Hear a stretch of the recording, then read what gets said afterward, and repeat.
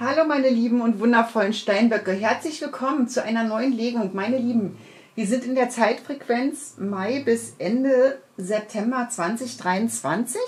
Für alle Steinböcke, die mich hier heute das erste Mal sehen, herzlich willkommen auf meinem Kanal. Ich freue mich, dass ihr da seid. Wenn ihr möchtet, dann freue ich mich über ein Abo, dann unterstützt ihr mich.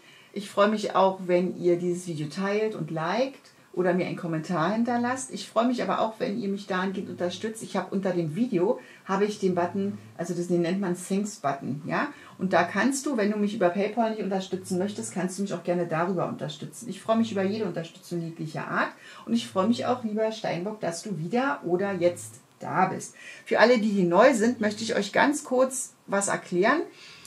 Ähm, dadurch, dass wir jetzt eine 14-tägige Legung haben, habe ich äh, mir vor einiger Zeit überlegt, dass ich äh, euch die einzelnen Wochen einzeln präsentiere. Das heißt, ich werde erst die dritte Woche jetzt legen, dann werde ich die vierte Woche legen. Ich werde beginnen mit den Weisheitskarten hier, dann werde ich das Tarot befragen, um was es in jeder einzelnen Woche bei euch geht und klären werde ich mit den Lennemore-Karten und ihr werdet nach jeder Wochenlegung werdet ihr eine Engelkarte bekommen, okay?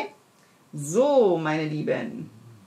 Ich habe hier den Heilsteinstab der Transformation, ja, ähm, für den Mitte bis Ende September, für dieses Zeitfenster ähm, ist die Energie des Loslassens, Veränderns. Es, es sind auch immer noch einige dabei von euch, die, die noch nicht sich getraut haben, loszulassen oder die vielleicht auch noch nicht wissen, genau, wie kann ich jetzt hier weitergehen. Ja, für die ist, wie gesagt, die Energie der Transformation nochmal ins Feld gekommen. Wenn du gerne eine persönliche Legung möchtest oder eine Heilarbeit, kannst du mich gerne anschreiben über WhatsApp oder auch per E-Mail. Am besten ist mal über WhatsApp. Und ähm, das geht dann einfach am schnellsten. Du kannst auch gerne auf meine Homepage www.engelgeflüster.de kannst du sehr, sehr gerne ähm, dir alles anschauen, was ich euch so zur Verfügung stelle. Okay, so, jetzt gucken wir mal für die Steinböcke in der dritten Woche. Ja, denk bitte mal daran, es kann ein Thema sein, es können verschiedene Themen sein. Wenn du damit nicht resonierst, bitte Mond, Venus, Aszendentzeichen nochmal anschauen. Ich kann es nicht oft genug sagen. Und wenn du sagst, es ist gar nicht meine Legung ähm, oder ich, es fühlt sich nicht gut an, dann bitte gerne raus, okay? Nachdenken. Mhm. Wir haben die 44, Quersumme 8 ja, du denkst hier eventuell nach, wie kann ich weitergehen, wie kann ich hier vorangehen, wie kann es überhaupt in meinem Leben weitergehen. Du, bist, du hast hier ein Thema in der dritten Woche, über was du nachdenkst, äh, wo du sagst, hm, ich weiß gar nicht. Ja, dann nimm dir die Zeit, das ist genau richtig, dass du hier sagst, ich muss erstmal nachdenken. Finde ich super. Nachdenken hat so ein bisschen meditative Energie. Vielleicht möchtest du auch draußen in der Natur nachdenken, ja, weil hier ist ja der Himmel. Das heißt, vielleicht sitzt du irgendwo an deinem Kraftplatz und denkst nach. Das ist gut. Du bist ja auch ein sehr naturverbundenes Erdzeichen.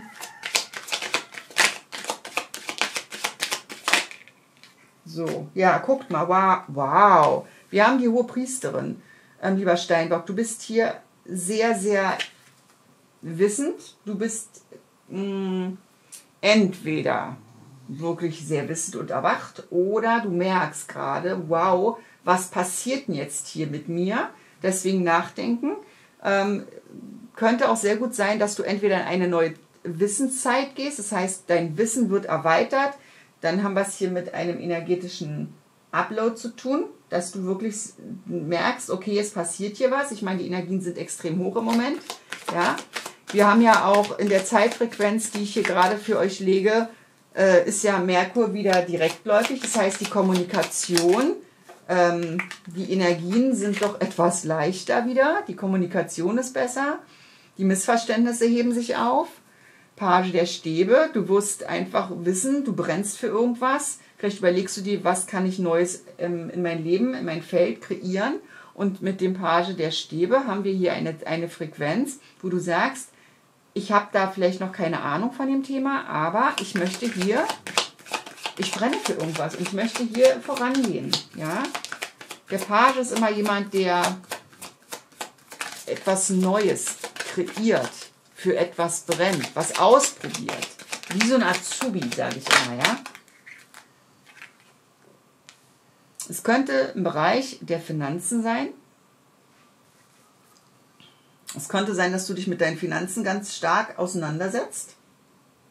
Mhm. Wir haben hier die Acht der Kelche, dass du dir überlegst, wie kann ich hier einen Zustand verlassen, ähm, wo ich mich, ich sag mal, die Königin der, Kel äh, die Königin der Münzen, nicht die Kel Königin der Kelche, die Königin der Münzen ist eine Energie, ähm, es kann, kann deine Energie sein, du bist Münzenergie, ne, keine Frage. Ähm, ich denke aber auch, dass du in Bezug auf wirtschaftliche Geschichten, du hier neue Wege gehst. Ja, weil du verlässt hier einen Zustand. Ach, der Kelch ist, ich, ich verlasse einen Zustand ähm, und ich sehe dich hier als eher so, so kaufmännisch unterwegs. Also du bist nicht jemand, dem man irgendwas erzählen kann und sagst, ja, na, natürlich, ja klar, ich glaube dir alles. Nee, du bist äh, in dem Bereich, was du hier tun möchtest, das kann die, können die Finanzen sein, das kann das Wirtschaftliche sein, weil ich immer wieder Zahlen und, und auch, ich sehe auch immer wieder Geldfluss, ähm, Finanzen, dass du hier einfach neue Wege einschlägst, ja. So, die hohe Priesterin. Vielleicht möchtest du auch investieren in dich selber. Kartenlegung, Heilarbeit, Ausbildung, irgendwas in dem Bereich. Ja, ja wir haben den Turm. Ähm, du ziehst dich zum Nachdenken zurück. Ja, also wir haben das Nachdenken, die hohe Priesterin und den Turm. Und allein schon diese drei Karten sagen mir, dass du dich in, in der ersten Woche, in der ersten, äh, in der, ja, in der dritten Woche ist die erste Woche, die jetzt kommt dann. Danach könnt ihr mich verstehen. Ich rede heute irgendwie ein bisschen komisch, oder? Also in der dritten Woche, meine Lieben, seht's mir bitte nach. In der dritten Woche wirst du ähm, lieber Steinbock, dich zurückziehen, um eventuell dich an, die, an das höhere Selbst zu doggen. Ich sehe immer, wenn ich sehe dich genau so. Und du, du lässt hier, ich muss euch das mal zeigen, du lässt letztendlich aus deinem Kronenchakra, lieber Steinbock, lässt du hier, du verbindest dich. Du verbindest dich mit oben.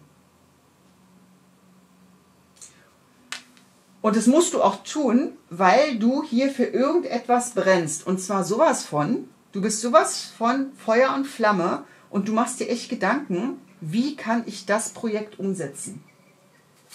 Das muss irgendwas mit Finanzen zu tun haben. Das kann die Arbeit sein, das kann, kann eine Wohnung sein, irgendeine Anschaffung sein, irgendwas in deinem Feld möchte, ja, mit deinem Zuhause. Eventuell ziehst du um. Ziehst du um oder renovierst oder schaffst dir irgendwas an, vielleicht eine neue Couch oder ein neues kuscheliges Bett, irgendetwas. Also irgendwas, was in Bezug auf entweder dein Zuhause oder aber die Stabilität zu tun hat. Ja? So, wir haben hier die Königin der Münzen, das ist deine Energie. Schön ist, dass du sehr feminin bist in der dritten Woche. Ja, aber du hast noch nicht so den Plan, die Wolken. Du bist noch so ein bisschen vom Kopf her blockiert. Und deswegen bist du auch so nachdenklich. Ja, und deswegen ziehst du dich nämlich auch in der dritten Woche zurück, lieber Steinbock, weil du hier ein Thema im häuslichen Bereich hast, wo du unbedingt was umsetzen willst und du weißt noch nicht wirklich, wie du das, wie du das tun kannst. Oder dir fehlt wirklich die Stabilität und du willst im Bereich der Finanzen etwas verändern. So, wir fragen mal die Engel. Was gibt es hier für den Steinbock in der dritten Woche? Im September. Nach Merkur rückläufig. Was gibt es hier für eine Botschaft? Uh! Heidewitzka, Mutter Maria und Josef. Hier ist ja was los. Na, Karten wollen nicht. So, die ist geflogen ohne Ende. Wow, wow, oh cool. Hier ähm, 27 Quersumme 9.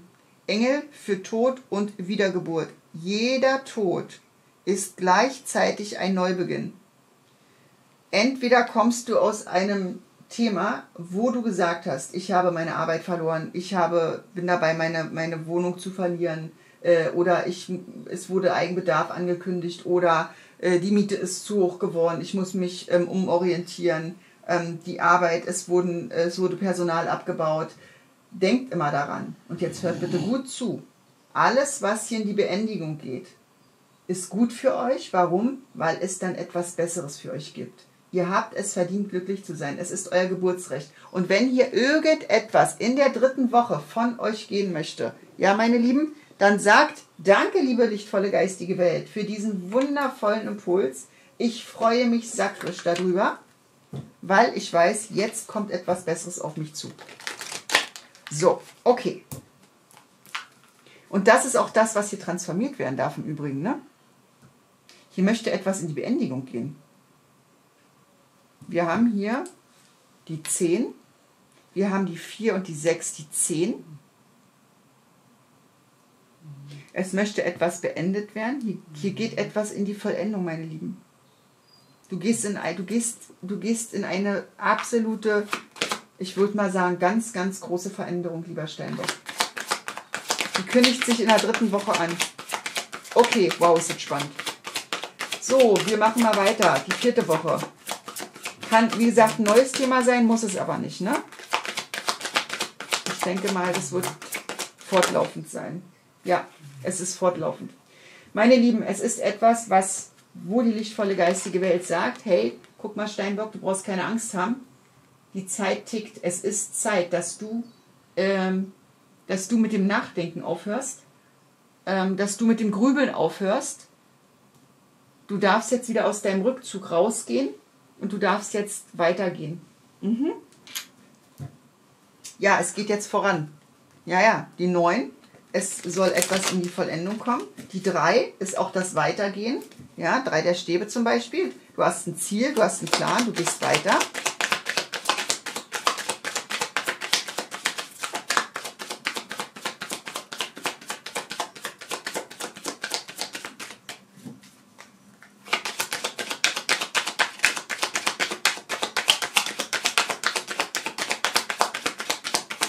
Weißt nicht wie. Du sagst, ich will nicht. Ja, aber es gibt dir Kraft. Ähm, aus diesem alten Zyklus rauszugehen, Steinbock, und hier in einen neuen reinzugehen, dass du weißt, dass die Zeit tickt, das macht dich größer und stärker. Ja, die Kraft, du bekommst jetzt Kraft. Kraft für das Weitergehen, Kraft für, den, für deinen Mut, ja, Kraft für den Neuanfang, Kraft für die Wiedergeburt. Ich sehe das total positiv hier bei dir. Aber das ist auch Merkur, äh, Merkur direktläufig. Ne? Rückläufig war immer, man zieht sich zurück, man denkt über die Themen, die nochmal hochkommen, nach. Und ab der dritten Woche merkst du einfach, ähm, dass es leichter wird. Aber die vierte Woche ist dann bei dir das Vorangehen. Nach dem Nachdenken kommt das Vorangehen. Stern, Klarheit, Wunscherfüllung, sage ich doch. Du wirst dir jetzt in der vierten Woche deine Wünsche erfüllen können für etwas kann eine Wohnung sein, was auch immer in dein Feld kommt. Ich weiß es nicht, das weißt du am besten. Und auch du wirst dir genauso wie der Stier, du wirst dich dafür rechtfertigen müssen. Leute, ich sag euch mal was. Umso höher du auf deinen Berg kraxelst, umso mehr Menschen hast du, die es dir neiden. Was habe ich in letzter Zeit mit Menschen zu tun, die immer sagen, ey Katrin, ich habe so eine Schwierigkeiten, die sind so gegen mich, die neiden mir das und die legen mir Steine in den Weg. Ja, warum? Weil ihr erwacht seid, weil ihr weitergeht, weil ihr den Mut aufbringt und aus eurem Nachdenken rauskommen werdet und ihr sagt tick, tack, tick, tack, die Zeit, die tickt. Hier, Rückzug. Und du überlegst dir immer wieder, gehe ich nochmal einen Rückzug, gehe ich nicht. Konflikte kommen, ich gehe zurück. Nein, du gehst bitte nicht zurück. Du gehst deinen Weg bitte weiter. Ja, wenn jemand kommt wir haben hier, das ist auch nochmal Erdenergie. Ja, das ist letztendlich auch deine Energie, ist aber Jungfrau-Energie. Das ist, vielleicht suchst du dir auch ein Stück weit ähm, in deiner Energie, vielleicht diese Sorgfalt kriege ich rein. Gehe sorgsam und sorgfältig mit dir um. Ja, ähm, was, was geht es bei dir in deinem Leben, wo du mehr Ordnung brauchst? Die Jungfrau ist eine ganz reinliche Energie. Ja, wo musst du eventuell toxinisch, sagen sie mir gerade, wo musst du dich reinigen energetisch. Wo hast du in deinem Feld, lieber Steinbock, Menschen, die dir schaden? Und was tust du dafür, dass du dich von solchen Menschen reinigst? Ja? So, die Kraft, um was geht es hier? In der vierten Woche. Die Zeit tickt, dass du in deine Kraft kommst. Ja, genau. Es könnte sein, dass du Besuch bekommst und dass dieser Besuch dir die Kraft gibt und sagt, ey Mensch, komm, mach das doch, das ist so toll, ja, glaube an dich, ja, ähm, mach es doch, du weißt doch, du hast doch die Kraft dazu. Oder du machst dir selber ein Geschenk, indem du sagst, ich weiß, ich Steinbock weiß, wer ich bin. Ich Steinbock bin in einer so mega tollen Energie ich gehe jetzt weiter. Ich habe die Kraft dazu, mir das Geschenk zu machen. Das Geschenk liegt in der Klarheit. Ja? Klarheit, Wunscherfüllung. Um was geht es hier bitte?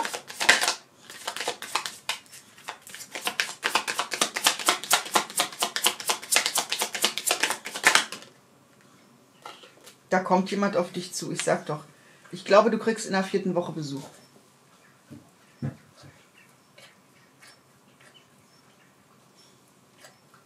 Ja, weil du etwas Neues anfängst. Es könnte sein, dass es jemand ist, der weiß, wenn du weitergehst, dann wirst du verlustig. Verlustig heißt, für die, die es nicht wissen, dass du für jemanden in den Verlust gehst. Also du entwickelst dich weiter und du lässt jemanden zurück oder eine Situation zurück. Du bist jetzt in der Zeitfrequenz, dass du weißt, du bist jetzt mal für dich selber verantwortlich. Du möchtest jetzt mal deine eigenen Dinge machen ne? und äh, lässt vielleicht mal Freunde, Familie, Bekannte hinter dir, weil du sagst, es ist jetzt einfach mal meine Zeit. Ne? Weil Merkur rückläufig war ja auch eine Zeit, oder wo ich jetzt lege, ist ja eine Zeit, die ist nicht immer einfach. Aber, meine Lieben, wenn Merkur direktläufig ist, dann wird es auch wieder etwas leichter. Und das ist das, was du einfach spürst, weil du die Kraft wieder bekommst. Und wenn's, wenn, wenn jemand in der Merkur-rückläufigen Zeit, je nachdem, wann du das Video siehst, jetzt auf dich zukommt, dich besuchen kommt und du bist schon ganz weit woanders, dann könnte es sein, mit fünf der Schwerter, dass dich dieser Mensch triggert oder dass du hier dich verteidigen musst oder du einfach sagst, ey, lass mich doch einfach mal in Ruhe. Also irgendwie haben wir hier Konflikte. Ja, in Bezug auf Beziehung. Es könnte sein, dass hier jemand ähm, Bezug auf Liebesangelegenheiten auf dich zukommt oder äh, mit dem du in einer Beziehung bist. Kann auch natürlich auch Familie sein. Und dass, äh, wie gesagt, dieser Mensch merkt, durch deine Weiterentwicklung bist du verlustig und das kann sein, dass es hier einen Konflikt gibt. Oder du hast einen Konflikt in der Beziehung und sagst so, es reicht jetzt, ich gehe jetzt einfach meinen Weg. Ich tue mir das nicht mehr an. Ja, du hast auch Leute, die einfach dir mal erzählen wollen, wie es geht. Ne? Vielleicht bist du auch nervös oder es gibt Menschen, die dich nervös machen. Ja, ähm, das kann es hier natürlich auch sein. So, was sagen denn die Engel hier in der vierten Woche? Beziehungskarte, Konflikte in einer Beziehung, muss nicht Liebe sein, kann auch Arbeit sein. Vielleicht willst du auch deine Arbeit kündigen. Wir gucken mal. Was ist denn hier? Engel für göttliche Kraft. Die 4, Stabilität, also 40 Quersumme 4. Ja? Durch, dadurch, dass du etwas beendest, in die Beendigung gehst, Wiedergeburt, Tod, es fängt was Neues an, wirst du stabil. Und das ist die Kraft, die sich hier widerspiegelt. Ja? Okay, mit deiner Hilfe komme ich in die göttliche Kraft. Bam, hier, da haben wir sie. Okay? Also, du brauchst dir gar keine Sorgen machen, Steinbock. Es liegt immer, natürlich ganz klar, immer alles an deinem Tun. Also, wenn du sagst, du guckst jetzt mal, ob die Sonne scheint, das ist schön, und du hast Erde und einen Blumentopf und auch die Samen und sonst dich in der, in der Sonne und pflanzt aber weder den Samen in die Erde noch gießt du die Erde, dann wird auch nichts entstehen können. Ne? Das sind hier alles nur Tendenzen und das liegt immer nur an, an deiner an deinem Dazutun. Was tust du, um hier in die Veränderung zu gehen? Was tust du, um hier in die Stabilität zu gehen? Was tust du, um hier überhaupt weiterzugehen, um hier aus dem Nachdenken rauszukommen, um zu sagen, okay, ich bin durch den Rückzug jetzt weiter. Ich bin, was das Thema Stabilität betrifft, es kann auch deine eigene Stabilität sein im Übrigen, ne? Ähm, oder Wohnungsthema. Was, was tust du dazu, um in die Klarsicht zu kommen? aus der, aus der Blockade in die Stabilität. Na, hier. Also, es ist immer dein Dazutun in all dem, was du hier hörst oder siehst. Okay? Meine Lieben, wer mich unterstützen möchte, gerne den Thanks-Button drücken. Ich freue mich natürlich, wenn ihr mich unterstützt. Und ähm, ansonsten gerne abonnieren, das kleine graue Glöckchen drücken. Wie gesagt, egal was es ist, ich freue mich über alles. In diesem Sinne wünsche ich dir einen zauberhaften September weiterhin und ähm, wir hören uns dann bei der nächsten Legung und das wird die Legung sein für Oktober 2023. In diesem Sinne, ganz viel Licht und Liebe, macht's gut, ciao.